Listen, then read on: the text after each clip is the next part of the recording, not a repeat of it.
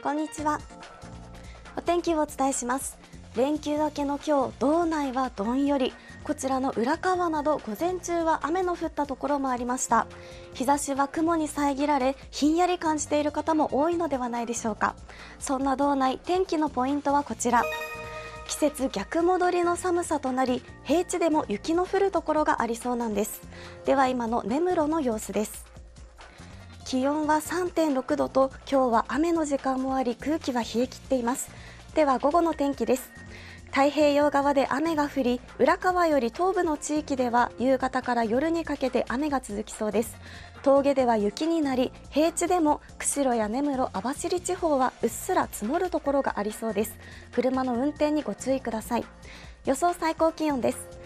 各地で3月から4月並みの寒さで季節逆戻りです。札幌は13度と4月中旬並み。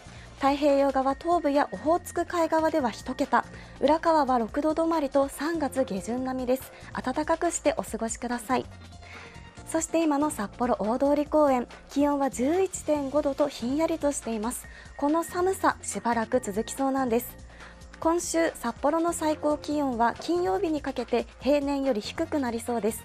木曜日は今日よりも低い12度の予想と4月中旬並みです。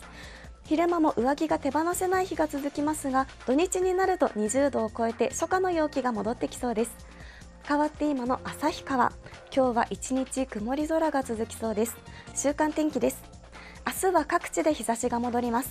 ただ旭川や札幌など日本海側では天気が不安定で午後はにわか雨がありそうです。ざっと強まることもあるので明日外出には傘をお持ちください。その先は晴れたり曇ったりが続き穏やかな天気の日が多くなりそうです。